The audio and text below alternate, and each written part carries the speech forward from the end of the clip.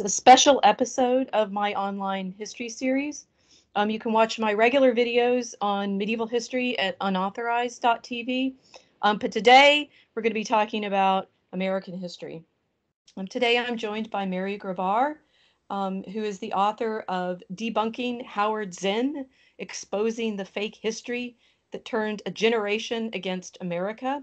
Um, it's just out this summer from Regnery Publications, and I'm very grateful to have you with me, Mary. Welcome. Thank you. Great to be here. so, um, you actually hold a PhD in English um, from the University of Georgia, and you taught for a good 20 years at the college level until um, 2013. Is that right? And and um, you're now um, with the Alexander Hamilton Institute for the Study of Western Civilization. This is at Hamilton College. Is that right? Um, well, uh, yeah. To go back, um, yeah, I taught for a total of about 20 years, including my graduate teaching assistantships. And um, the last place I taught was at Emory. And I was teaching under a program called the Program in American Democracy and Citizenship. And that ended in 2013. And then in 2014, I moved up to here to Clinton, New York. Uh, I had had some contact with the Alexander Hamilton Institute, but it is not on campus. Uh, it was going to be on campus, and uh, we, or actually, the three founders had some run ins from the radical leftists in the faculty who wanted to take over uh, this institute, which was being funded by an alum. And so they decided to become independent. So we're housed in a nice old 1832 mansion on the village square in Clinton, a couple miles from the campus just down the hill. So we have a place, I have a place to live here and an office, and there's one other resident fellow as well. And we have reading groups for students. Uh, we have student internships. We do classes and events for the community here. So we're we're right on the village square. Okay, so that's excellent. So you're you've you've been in academia and you're familiar with the nuts, the insanity that, yeah. that we've all been, been experiencing. But but now you're you're sort of in this this priv- I mean privileged I think is a good word um, position to be able to observe but but comment on and and I, I I told you when we first got in touch that I actually was familiar with your work from American Greatness. Um, you've mm-hmm. you've also written for quite a number of other um, publications, Minding the Campus, American Thinker, The Federalist, Front Page Magazine. So I I see you as an informed witness to uh-huh. all of this um, nonsense that we've been dealing with, and so I'm I'm really really grateful to be having this discussion with you and for you to help me as a medievalist understand what what's gone on right? What's what's what's gone wrong? And i was i i mean i, I say I, come to your book as a medievalist and there's a little bit of overlap my own teaching that i actually teach a course on medieval travelers which ends with columbus. And and you start and you're um, debunking Howard Zinn with Columbus, which is I, I assume where, where, he starts too, right? So that we're we're dealing with mm-hmm. a, a, little bit of the transition problem. Um, how bad is it in American education now? You go through a, a good number of examples of how much Howard Zinn's book is is being used. Could you could you unpack a little bit of that for us? I mean, I I tweeted a little bit about you know how what a problem we have now in you know American society that the the reason that we are in the fights that we are culturally your suggestion seems to be is that everybody's been reading Zinn, or it's we've been reading Zinn than we think we have. And someone tweeted back at me, as Twitter does, right? It's like nobody's ever heard of Zinn, but uh-huh. I, I, I got a rather different impression from your book. Yeah, well, have we heard of him? a lot of people have. Uh, often it's because their kids were exposed to him in high school or even college, and they pick up the book and they're outraged because they know a little bit about American history. But I came across Howard Zinn when I was um, I was teaching. I had a number of adjunct positions in Georgia when I was living there. You, uh, you know, my dissertation just was not acceptable to the hiring committees. But um, so what I noticed, uh, you know, through graduate school, like in the 1990s mostly, I, I kind of wove my way around radical professors, uh, took classes from those who had not yet retired, sort of the old guard, and I noticed the corruption of education in, in uh, English departments, deconstruction, uh, new historicism, all these theories that are derived from Marxism and I started writing about education and came across Howard Zinn and wrote an article about him in 2008 or 2009. And then I was asked to write a report on him and present it at the National Press Club, which I did in 2010.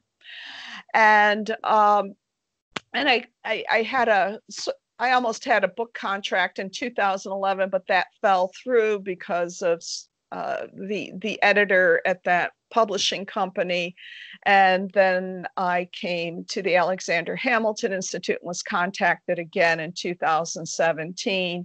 Uh, I was led to my agent and then to Regnery Publishing, and uh, Howard Zinn is widely known.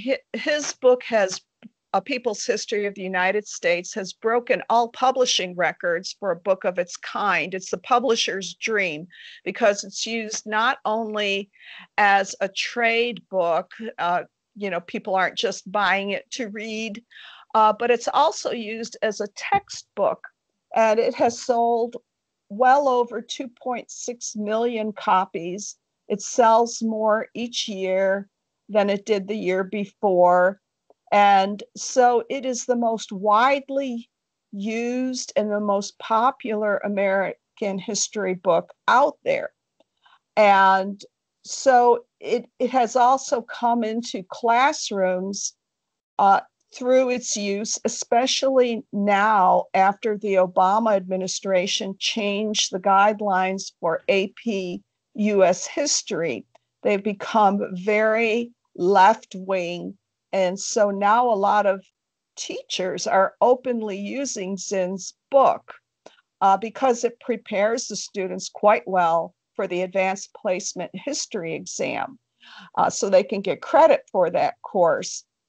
It used to be that teachers would often just sneak it in or, or photocopy pages, but now they're using it more and more openly.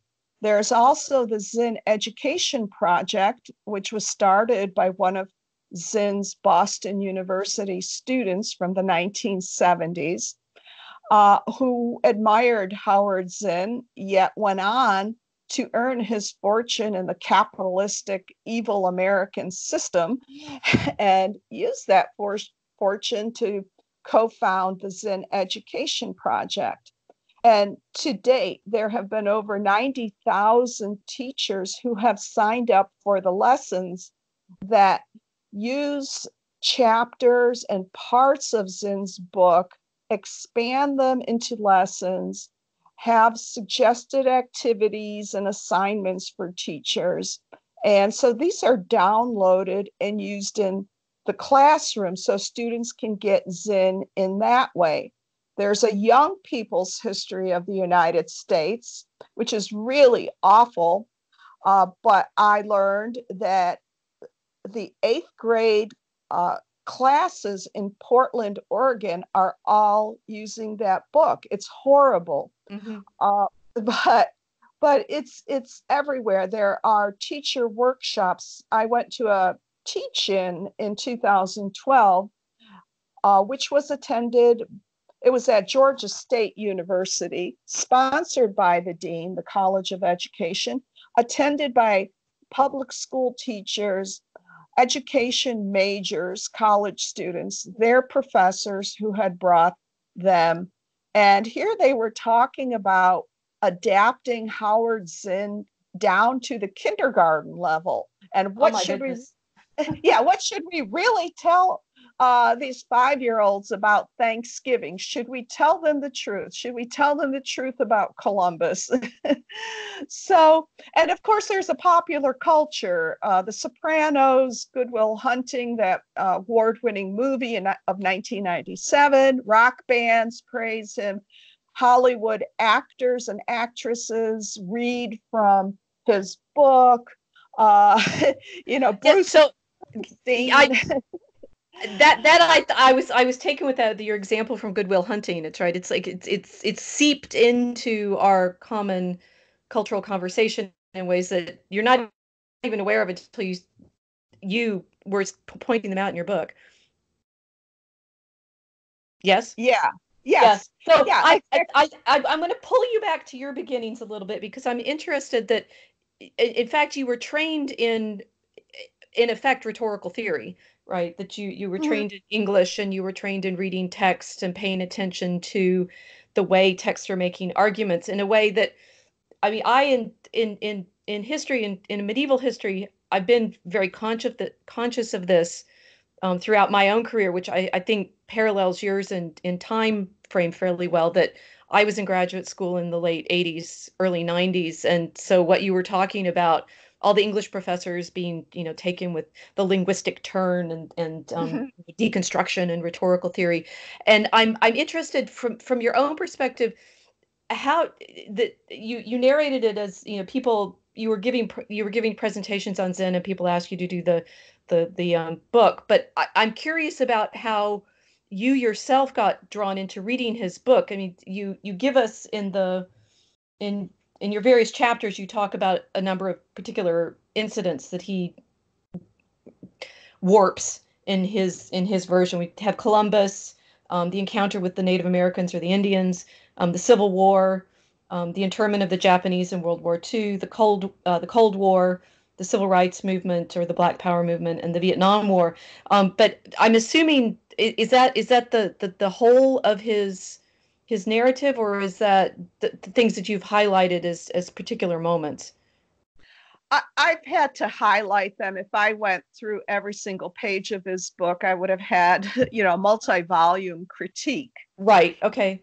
So, I, I, can you tell us a bit about what, what it was? What was it like for you as someone who was trained in reading texts to work through his text? Because you've you've worked through it in your and debunking Howard Zinn as as a as a historian, right, showing the way in which he's distorting the facts that we have from the primary sources, the the way he's drawing on other historians. But I, I'm curious uh, what you thought of it as a work of literature.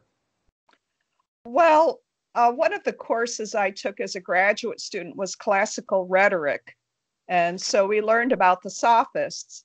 And, so I think that helped prepare me. And when I was teaching freshman composition at Emory, I always started with Aristotle's rhetoric and the three different appeals logos, ethos, and pathos. Uh, mm. You know, the appeal to reason uh, and to emotion and to character. Uh, well, and I've also you know, looked at pieces of propaganda. I remember back when I was at the University of Georgia, we had this textbook that included uh, passages from Mein Kampf. and I remember, and I would also teach, uh, you know, some of the speeches of Mao Zedong, mm-hmm. and I would try to uh, tell students about, uh, you know, what is legitimate rhetoric, what's using these tricks, how to distinguish between them.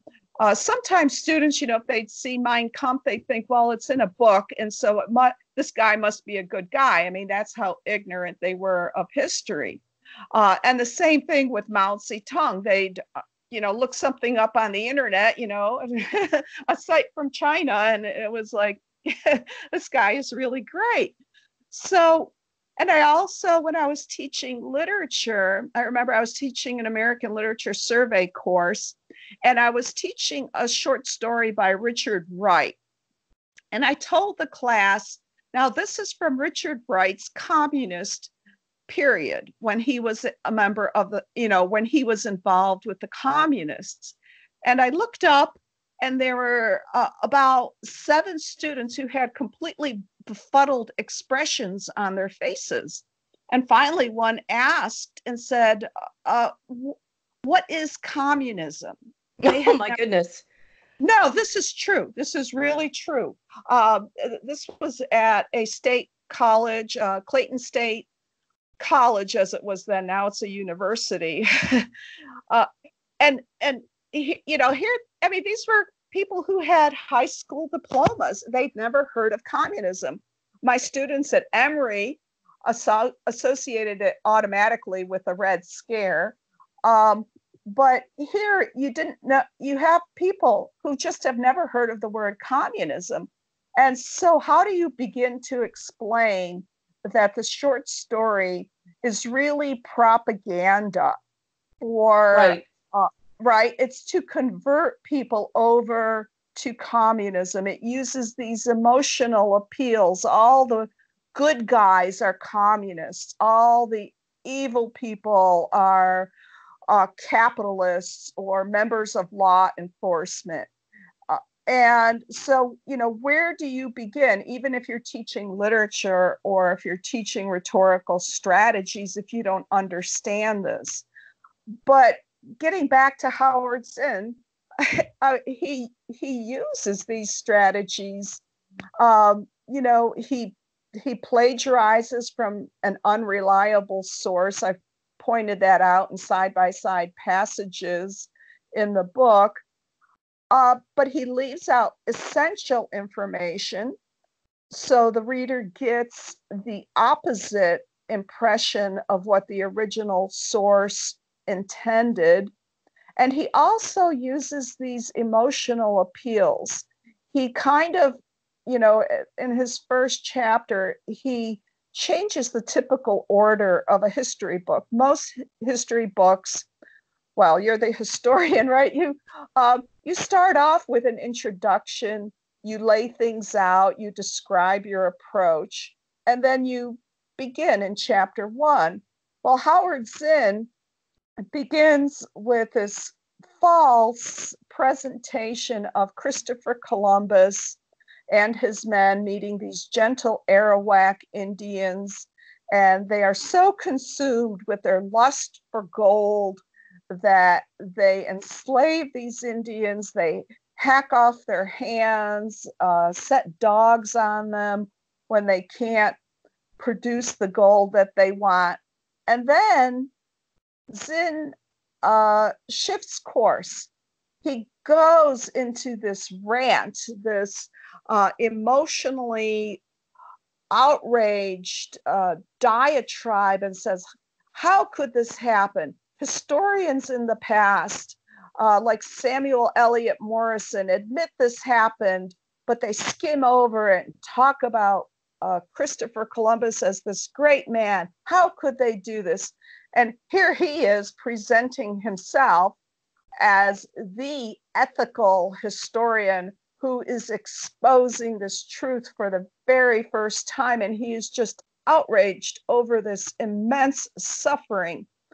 And then he goes into, uh, you know, Montezuma and the Incas. And then he says, well, this is all a pattern this and then he goes into north america and the indians there and it's one outrage after another against uh, uniformly peaceful generous indians. And so what he does is he hooks the reader emotionally you know first by presenting the false history then um, you know expressing his own outrage uh, using leading questions, yes and no answers, uh, which uh, someone else has pointed out is very unusual in writing history.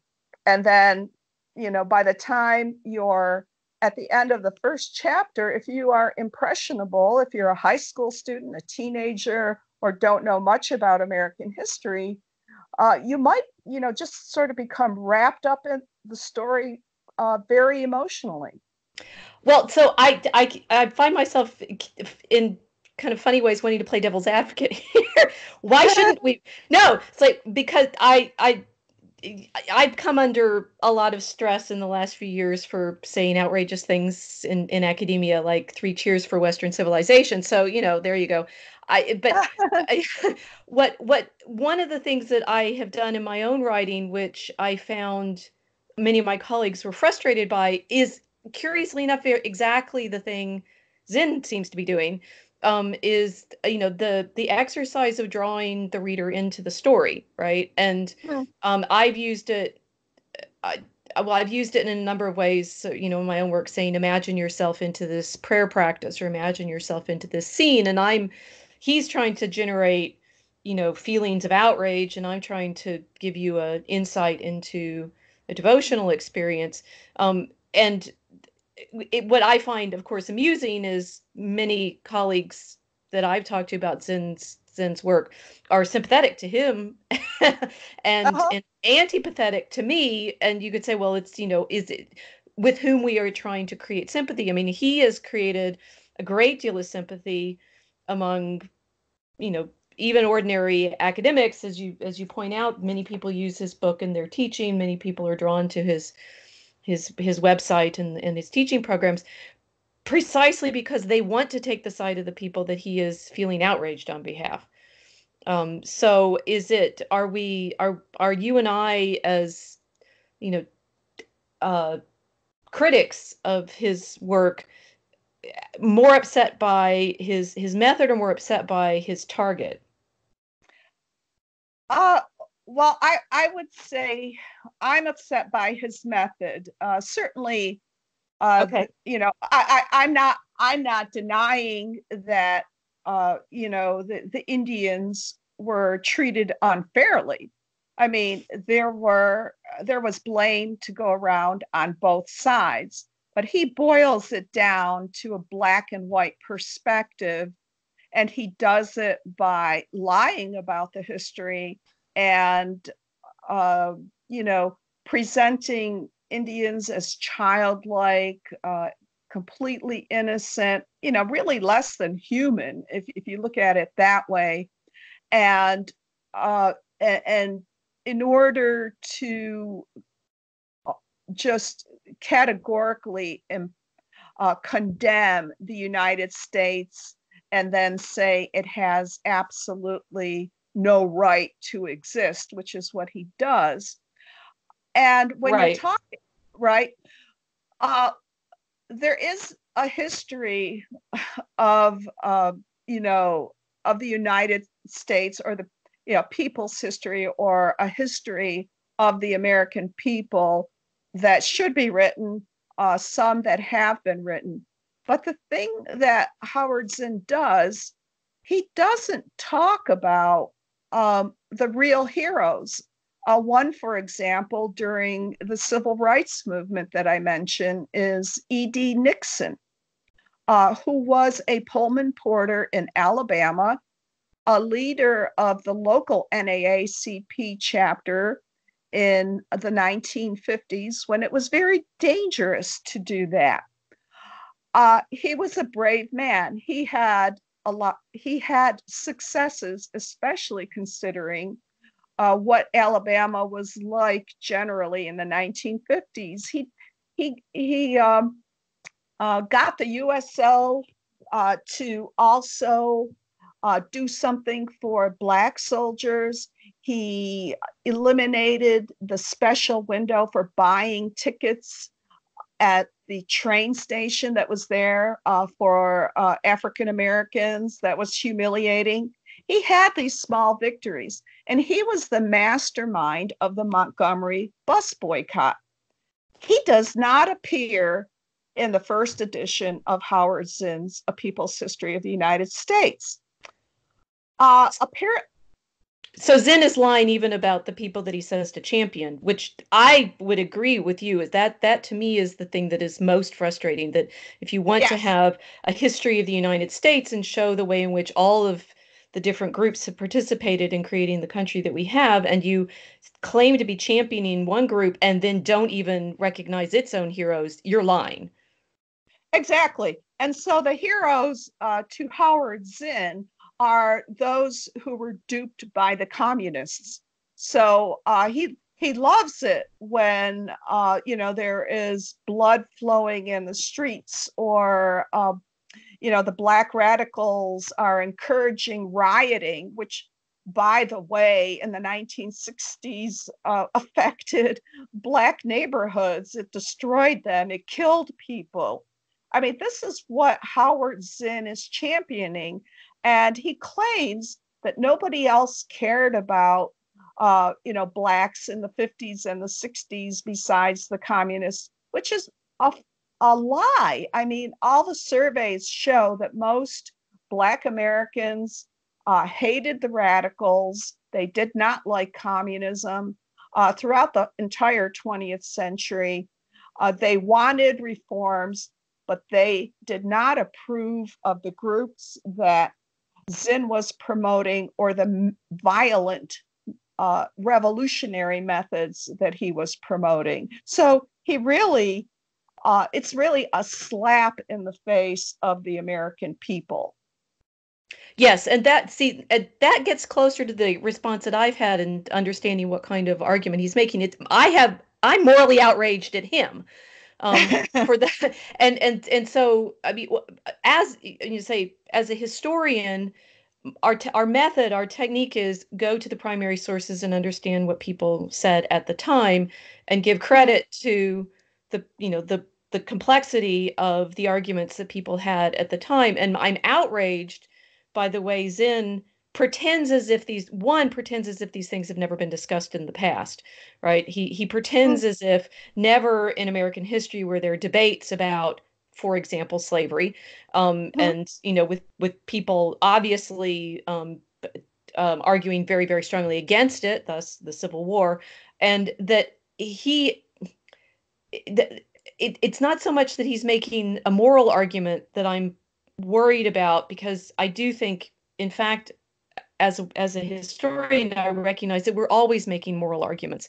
Uh, you know, we're telling mm-hmm. stories about human beings, and we're telling stories about you know evaluating whether or not decisions made in the past were good decisions or bad decisions or you know whether or not we see um i mean if you're do if you're doing an aesthetic history right like i am i i, I i'm concerned more with you know theology and aesthetics and devotion i'm i'm i'm describing it in a way that i hope people find appealing which you could say is is highly rhetorical right right i'm i'm trying to make sure. my reader at least ha- have the moment of saying this practice is beautiful.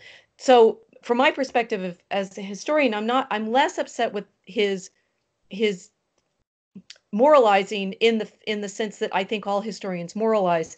I'm more upset with his his deception in pretending right. that none of these debates have been had in the past.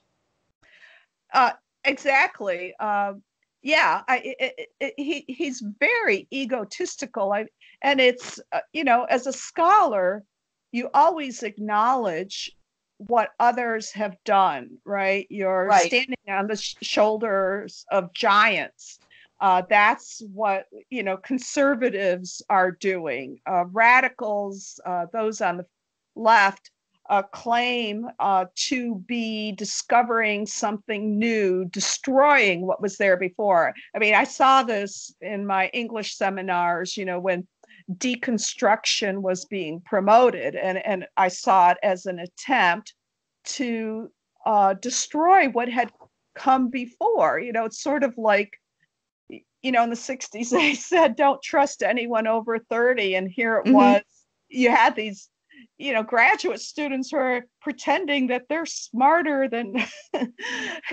you know, all, all the other literary uh, scholars that had, uh, you know, lived before they did. They're seeing something new. They're picking things apart. And uh, wow, it's revelatory. And then the next one comes along and says, wait a minute, you know, that person didn't really understand it. I understand it. Um, and that's not what scholarship is. It's not what honest uh, his, uh, scholarship is.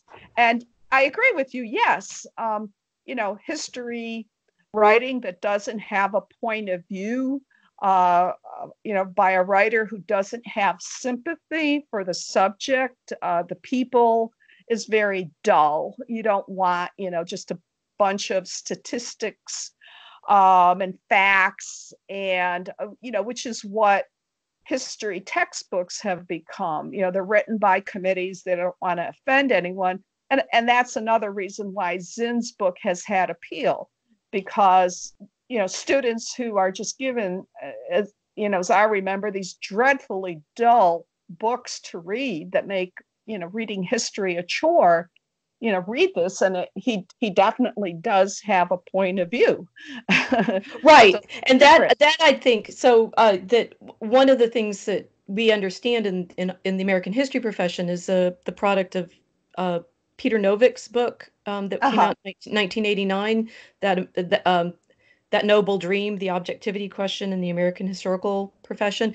And Peter was a member of my department when I first started here at Chicago, and I read his book then and said, "This is you know he was already a superstar at that point. You know, had American Historical Association sessions devoted to talking about his book. But the the problem that he showed in his book was generationally." the American, you know, the sh- the story of American history changes, right? And and mm-hmm. to a mm-hmm. certain extent, yeah. that is because you know we we see we see more once you know 30 years on you realize oh my goodness these things that were happening at the time have had these effects that we didn't appreciate they would have. We need to revise our understanding of the significance of that event.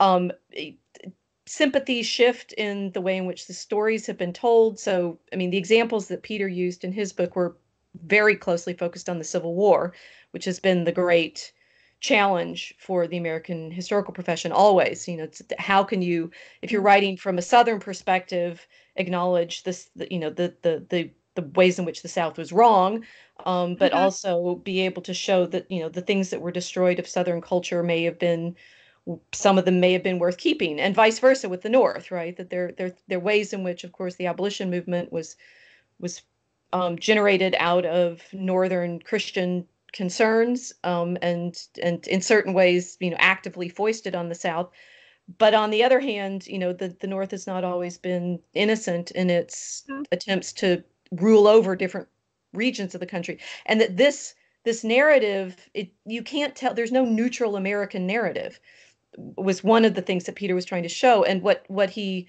he mm. came up with by 1989 is we have no clue right? As a nation no no his his last chapter was there is no there was no king in israel right? There was no by 1989 in the american historical profession itself there was no sense of which narrative defined the nation's history. Hmm. Uh yeah I, I, it you know history is uh, you know from my understanding coming to it as someone with a phd in english uh, and the more I read about it, the, it's so complicated, and people have their stories, and it really is about story. And I like learning about history uh, by reading stories like biographies. Um, you know, I'm I just finished the second volume of Robert Caro's biography of Lyndon Johnson. Um, you know, I don't agree with him politically, but he is a masterful writer.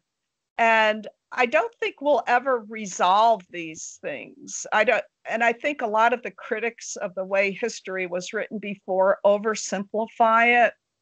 Um, so, and and having lived, well, yes, South, I agree, and I'll give you. Hello? Right, you were in Atlanta. You were in Atlanta. Yeah, right. Right. And so I, you know, even as I was writing uh, th- my chapter on uh, slavery and Zinn's take on the Civil War, I was thinking, you know, I really had to uh, simplify it. Mm-hmm. And and I focused on pointing out Zinn's, uh, you know, misrepresentations, historical misrepresentations and, you know, naturally, I think that, you know, freeing the slaves was a wonderful thing. But I also know many people in Georgia still, uh, you know, whose families, you know, are from the South. And I know that the representations of Southerners is grossly unfair. Uh, you know, only a uh, I think it's like 6% of Southerners were slave owners. Uh, many Southerners uh, were sympathetic uh, to the abolitionist movement. Uh, so there's a wide variety, and it's it's not the way it's portrayed as as you're saying. You know, this great dilemma about presenting the Civil War and, and still the same divide that you know Southerners were all these backward bigots. I mean, that's not the case. It, w- it was very complicated. And even the idea of Reconstruction was complicated. Uh, you know, there was fault from the North as well. And the other book I'm writing is about George Schuyler, uh, who was a uh, who was a libertarian, conservative black journalist who grew up in Syracuse, New York, near me. Mm-hmm. And uh, you know, he wrote about uh, the North and, uh, you know, the discrimination he faced, you, know, living in Harlem and also around the world. So you can't really just categorize people. And I think that's what Howard Zinn does. He, he divides them into uh, those who are good and those who are evil. And those who are good are definitely on his side. Right, but his good, his good as a particular character. I mean that he's he's the champion of the oppressed, and therefore he's the good guy. And yeah. there is there is. I mean, what? So yes, what I mean, what I find frustrating about is there's a, a complete lack of complexity, and it's all melodrama in in the way mm-hmm. he's he's he's setting it out.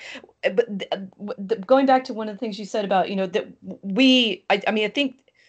It, I don't know whether I can use the term conservative anymore because I understand that you know the conservative the conservative movement politically has its own problems, but the the, the sense of traditionalist and in, in, in just recognizing the past as the thing that we depend on. The, your your phrase of the standing on the shoulders of giants. Most people think that comes from Newton, but of course it was Bernard of Chartres in the 12th century, um, quoted by John of Salisbury, himself lamenting the way in which those nouveau Aristotelians were coming in with their logic and destroying the the study of the liberal arts in the 12th century cathedral schools. It's it's a long problem, and mm-hmm. and that I, as a medievalist, of course, am, I mean, I think one of the funny things that has happened to me in the sort of big sort of culture debate is I'm usually just sitting there going, I don't really agree with anybody on these sides in in the modern narrative because I know that the story is much longer than any mm-hmm. of these, from my perspective, fairly short-sighted um, narratives give credit to. For example, with just going back to Columbus, that the irony of it for me is that Zinn is in fact doing what Bartolome de las Casas did to the Spanish in the first place. And when mm-hmm. I in um, my history of European civilization section, we read De las Casas, um, A Brief History of the Indies, and compare it with various passages from Bernal Diaz's Conquest of New Spain. And when we read Las Casas, he's, of course, writing to um, the Emperor um, Charles V and his son, Philip II, saying, Your Majesties, don't you realize all of these atrocities that are being committed in your name? Um, you know, the, the, the, the, things like the dogs being set on the, the um, Americans and the lust for gold and the the horrific massacres that the um, conquistadores were uh, part- participating in. And you know, Las Casas was writing at the time as a Dominican, as someone who had been participating in these land grants. He had had a grant of Indians himself for a while, um, slaves, and he he he converted to um, the church and came out, you know, sort of swinging, saying this is evil, right? And uh, Eng- you know the English who were themselves enemies of Spain at this point because they're Protestants and Spain is Catholic translate Las Casas as me, uh, you know quick quickly as they can. The Dutch do too, and say this is what Spain's like, right? and and so you end up with you know, and so when we read it in class, and I say, you know, the students, do you agree with him? And they're all like, well, of course. And I'm like, well, of course you do. One, he's right that these atrocities should not be taking place. But the problem is that he was he was himself engaged in the very kind of narrative that Zinn is in in the sense that he he's wiping out the whole situation that was actually taking place on the ground, which is what Diaz was concerned to show, right? He's like, Las Casas makes up all these stories, but in fact, I was there and this is how we ended up in the ambush and this is why you know the Tlaxcalans were in fact you know our allies against the aztecs whom they hated you, you point to some of these things in your in your chapter um, on on the the way in which the the history of the the um, European settlers' contacts with the, the Native Americans is told that it's always told as if well these European settlers just sort of swoop in and and massacre everyone and it's it's much more complicated than that on the ground.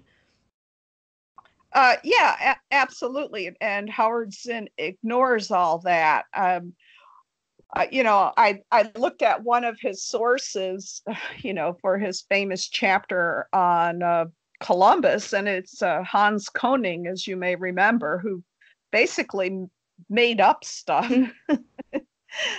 wrote, wrote this screed uh, that was used for in high school classes, and and you know this is what Zinn claims his authority on. You know, um, Hans Koning, uh, you know, a, a, novelist, a socialist, mm-hmm. a, mem- a, member of Zinn's anti-Vietnam War group, uh, you know, with Noam Chomsky. So, uh, you know, I mean, y- yeah, I mean, these stories are very complicated. Um, and Zinn is just writing communistic propaganda. It's uh, similar to uh, what William Z. Foster wrote. So I, I I like to go to these old bookstores and I pick up these odd titles. And uh, I don't know, years ago I picked up William Z. Foster's uh, outline political history of the Americas. Mm-hmm. And and if you do a sort, I mean, I could do a whole rhetorical study comparing that 1951 book to a people's history of the United States. And you see that the lines of argument are all the same. Um, you know, uh, North America, and in Foster's case, uh, both the Americas are presented as these pristine, you know, virtual gardens of Eden, you know, feminist paradises until right. the evil capitalist Europeans come in and kill everyone and steal and uh, you know exploit women and so forth. Um, so yeah i mean it's not history. What you're talking about is history. You're teaching history. Zinn was not teaching history and he did not write a history book. He wrote propaganda.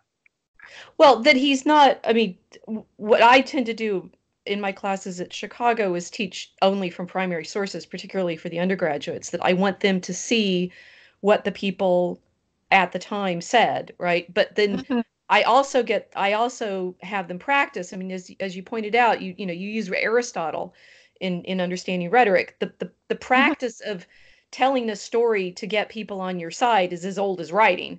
And it's it's mm-hmm. and it's it's it's probably older right? It's it's it's the it's whole rhetoric. Yeah. it's rhetoric right? And and the, the naivete of you know Zinn pretending that nobody that he discovered rhetoric in fact right? Only only i have been able to make the persuasive carrying argument for you know the the the defendants here. And and to not even acknowledge that i mean the, the other irony that i have is on the one hand he's ultimately depending on the the black legend that that Las Casas inadvertently created for Spain because mm-hmm. Spain's enemies picked it up and, and used it against them. Uh, but he's also, and this I think you know must have con- con- created some. Well, I don't know whether he was this self-conscious, right? It should have created some problems for him as a communist. Although you also talk about how he he managed to skirt round ever actually acknowledging that he was a communist. It should have created a problem for him from a communist perspective of, in fact, using Christian theological arguments, because that is it, that Las Casas argument is you cannot convert people to Christianity with violence, right? And and Las Casas is also directly responsible for the image of the Indians that that you say Zinn, you know, picks up from Koning and, and intensifies that they're innocent and they're simple and they're, you know, childlike. Uh, of course, what Diaz says is they were great warriors and you know mm-hmm. they they fought valiantly against us and and Las Casas creates this image of you know they were helpless in the face of of you know what was initially a relatively small number of of Spaniards but he also as as you pointed out mis misrepresents even what Columbus himself says, so that we we don't end up hearing things about how um, this this is from the journal, right, from the log, right, and and you you point out that Zinn doesn't quote this full passage. It, it's fairly long, and in fact, he quotes like, "Oh, you know, they'll they'll be good servants," right? But what he's actually been arguing is they were friendly. We we exchanged gifts. They're beautiful. Um, you know, he talks about how they paint themselves with colors. Weapons they have none nor acquainted with them, for I showed them swords which which they grasped by the blades and cut themselves through ignorance. And that is, of course, technologically true that the the um, the Americans didn't have metal weapons; they used stone. They have no iron. Their javelins being without it, and nothing more than sticks, though some have fish bones and other things at the ends. They're all in stature and hand formed. I saw some with scars of wounds upon their body and demanded by signs of them. Uh, there's a mistype in this translation I'm reading. They answered me in the same way that there came people from the other islands in the neighborhood who endeavored to make prisoners of them when they defended themselves. I thought then and still believe that these were from the continent. It appears to me that the people are ingenious and would be good servants, and I'm of the opinion they would be very readily become Christians as they appear to have no religion that's not mm-hmm. true, but you know, um, they very quickly learn such words as are spoken to them. If it please our Lord, I intend at my return to carry home six of these to your highnesses. That's Ferdinand and Isabella, right? That they may learn our language. I saw no beasts in the island or any sort of animals except parrots. Um, and there are all sorts of things that you know Zinn does not want to acknowledge that that, mm-hmm. that Columbus sees them as intelligent, as beautiful, and I think with the good servants, I I I want to follow that up on prop with proper translations, but he could mean subjects of the crown, right? That, that they will be, and servant is a fairly complicated term in in in Christian thinking, and it either is they'll be good servants of God or they'll be good servants of the crown, but it doesn't necessarily mean slaves. And he wants to bring them and um, have them educated. Now it is it is true that things didn't develop well for Columbus. He was he was mm-hmm. a good rouser of of you know well he managed to get those three ships to start with, but he had some troubles with his crew on a number of occasions. So he he wasn't necessarily the best of admirals. On the other hand, he is as and from my own understanding a good witness of the complexity of the European response to these peoples that they expected them to be human, they expected them to be rational, they expected them to be able to to um, be taught. And that's what Las Casas was actually arguing that we should take care to treat them well. Mm-hmm. Yeah, which, I mean, which Zinn doesn't want anybody to hear clearly. Right. Yeah. So he so he leaves out, you know, that that critical information. Um, you know, he casts history into these Manichaean terms, right? Where where all the uh, European uh, capitalists are evil and all the, you know, sort of primitive people, the Indians, are good. And um, and he can't acknowledge, um, you know, that Columbus's intentions were good. Uh, you know, you know, Zinn may not like the idea of trying to convert convert them to Christianity. Right. Uh, but but his intentions were good, and he wanted to spread the Christian message. Now, the very same people like Zinn and other historians, uh, you know, I came across, uh, you know, histories of, you know, the the North American tribes, and you know, a lot of these historians will uh, look at uh, say, cannibalism by the North American Indians and try to frame it as, you know, part of their religious beliefs. You know, they thought that if they uh, ate the heart of a, uh, you know, of, of a of an enemy, that they would gain their bravery and strength. Uh, but this was part of their religious uh, belief well, that's okay for the Indians, but right, uh, you know, heaven forbid that uh, a European should try to convert the Indians to Christianity, which doesn't believe in that. yes, and and that to me uh, is it's screaming what the tension is throughout all of this historiography that um, a Christian perspective, I mean, never mind a European perspective, specifically a Christian perspective, is always, you know, either um, hypocritical or or Yeah. you know murderous or and but then when Diaz is saying, you know, the reason that these Tlaxcalans were willing to ally with us is because the Aztecs were, you know, demanding of them uh tribute of people to you know ex you know to to um sacrifice and and Uh-huh. therefore they hated the Aztecs and that's why the you know Cortez was able to to get the allies that he did. None of that Right. seems to feature in these tellings of you know the reason the reason that the the Spaniards were able to to conquer the Aztecs as they were is because the Aztecs were so hated by the people they had conquered. Yeah, exactly. Well, you know, Howard Zinn puts it uh, that the um, that the Europeans set them against each other, these different tribes, that they instigated the conflicts when the conflicts have been going on for over a hundred years. So, you know, they were enemies. Uh, so it, it's just outright lies. Um, Well, And- and it's and- but it's lies about human nature. It's this this fantasy that somehow the Europeans are uniquely sinful and all other people are uniquely sinless. That's right. And and the way uh, Michael Kazin, one of Zinn's left-wing critics, uh, before the affair at Purdue University, uh, likened his Michael Kazin, of course, a former member of the SDS, uh, uh, one-time member of the Weather Underground, Mm. uh, left his leftist historian um, slammed people's history. He said that Zinn's theory was more suitable to a conspiracy monger's website than an actual work of history. Mhm. Y- Yeah, and if you if you if you really look, you know, take a close look or deconstruct Howard Zinn's history, he sets it up so that you know Columbus becomes the original, the progenitor of all these other uh, Western imperialists, and so it's just a long line of um, you know Westerners uh, who commit these atrocities all for capitalist gain. And so there is this big conspiracy.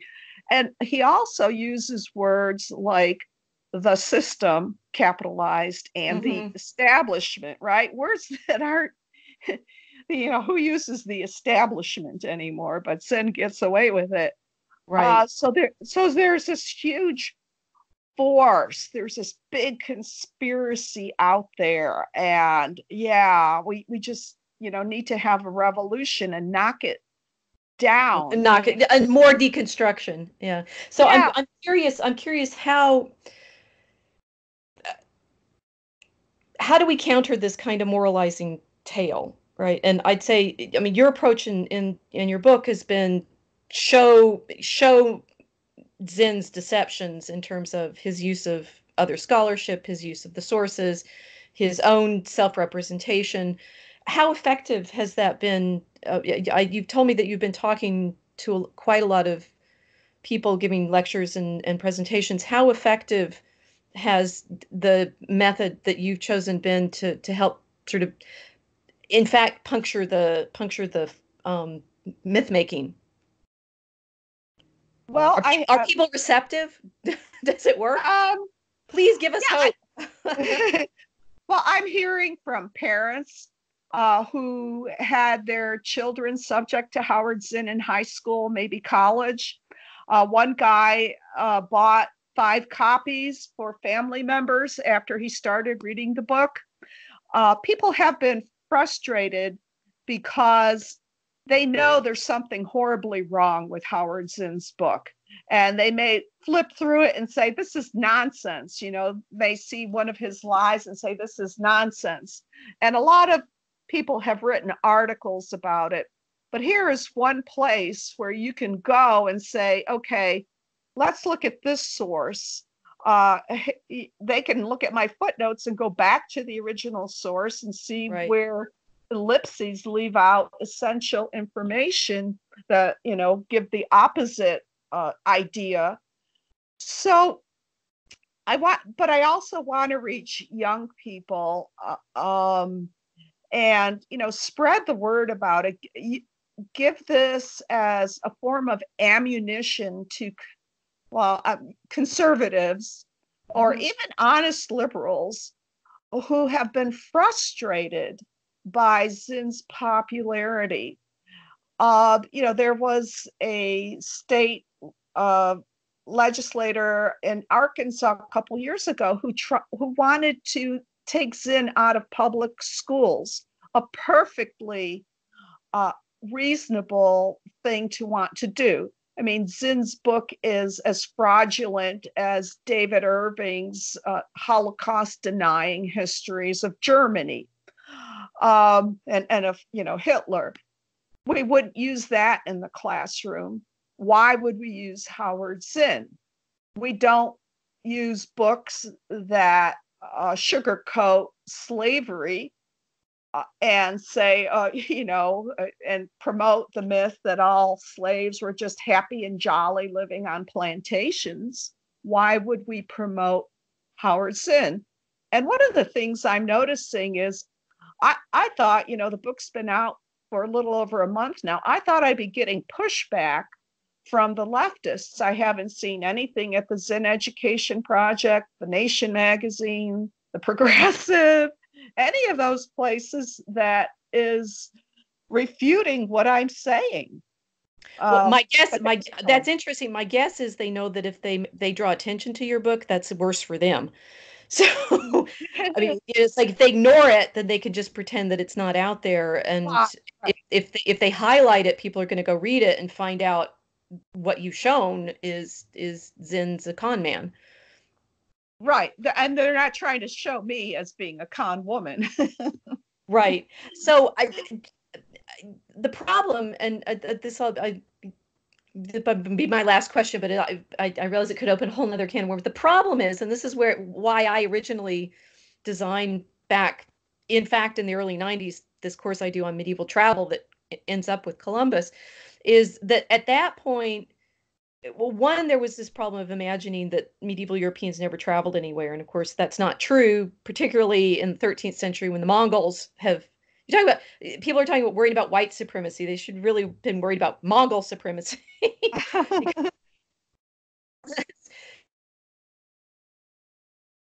there that I've been been quite fascinated by the Hu, HW, HU, right, who are singing songs about their great ancestors and why, you know, what happened to our people. Um, that the Mongols, when they conquered the sweep of Eurasia, in effect opened up Europe to China for a, a good several generations. And it's in that period when Marco Polo makes his journey to to the east. And um, we have stories like um, William of Rubruck's efforts to convert the Mongols. We have John Mandeville's famous travel narrative, you know, looking for paradise. And it was those sorts of sources that Columbus was actually reading. And what what I was working with was the the the, the claim that you know Columbus was this great um, scientific traveler who had stood up to the bigoted theologians at Salamanca who didn't believe you know that the world was round and didn't mm-hmm. believe that they were on the other world and such and, and it's like one everybody in the middle ages who was at all educated and for example could read dante knew that the world was round and two we know from throughout the Middle Ages that Europeans expected to find, as Columbus describes, you know, human beings to whom you could speak and potentially bring the word of God. And the narrative that I was countering was invented by Washington Irving, another great American storyteller in the early 19th century and he creates this sort of fantasy version of Columbus before the doctors of Salamanca and here Columbus is the only one with scientific knowledge and the rest of them are benighted Catholic bigots. so the benighted Catholic bigots stick around, but the, the the sort of hero has changed. Now it's no longer Columbus the scientist, it's Howard Zinn, the um, critic of all European knowledge in the first place. And I so I you know um, these mythologies are very very hard to to counter. And i'm i'm i'm wondering now that now that you've written your your proof of his lying what do you what do you think the next best move is in terms of our storytelling? Uh, well I, I think what we need to do is uh, we need to focus on the complexities uh, if you're talking about history uh, one of my big uh, complaints about education is that literature is not being taught anymore uh, under Common Core. Uh, you only have snippets, carefully selected snippets mm. from works of fiction or speeches, and uh, you know especially from like Frederick Douglass. I, I, use, I think they take their cue from Howard Zinn, his, um, you know, Frederick Douglass's 1852 speech. They leave out the part where he calls the Constitution a glorious liberty document. Um, but also getting back to like reading all of Frederick Douglass's autobiography, mm-hmm. uh, read, reading biographies, autobiographies, uh, novels. Uh, I just uh, finished Willa Cather's One of Ours. I mean, I think you can learn this part of history uh, from novels that uh, y- you can't even get from a lot of histories. I mean, Robert Caro is a wonderful storyteller. He's so detailed but in order to sort of get the essence of what it was like to live in that time period or to imagine a, a soldier, an American soldier from the American Midwest dying uh, in, uh, you know, in France um, and what it was like for his mother. You can read Willa Cather. Um, you, and you also I think by reading fiction, you develop the sense of empathy and an understanding of human complexity. And that complements the study of history because history is incredibly complex. I, you know, the more I read about, read history, the more I, um, I think, have an appreciation for the difficulties that uh, people who came before us faced. Uh, it, it, you know, it's not a, a simple morality tale of good guys versus bad guys, you know, as Howard Zinn likes to say. So I think this um, this way of educating students, uh, taking them away from uh, reading on their own long works, uh, primary sources as you do, but I think those need direction and they oh yes read and oh, right. You can't just what you no, know what that's I- that's that's my whole exercise is is teaching them how to to understand what kinds of problems different sorts of sources create. Yes. Yeah, yeah. Uh, you know, I I I know that there's a, a trend now to sort of take students up into the archives and let them loose and they read a letter from, uh, you know, say Flannery O'Connor and conclude, oh, she was a bigot. Right. I hate that.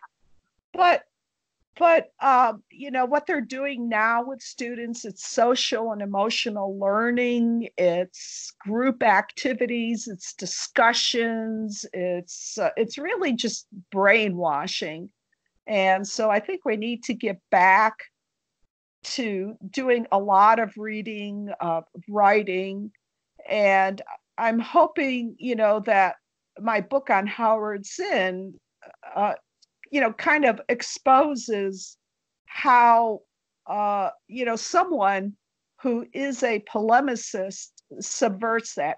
Howard Zinn is really an insult to scholarship. He himself uh, really did not teach. He did not write any legitimate history after his dissertation. He was a fraud. He was a huckster. He, uh, you know, he was a, a communist activist.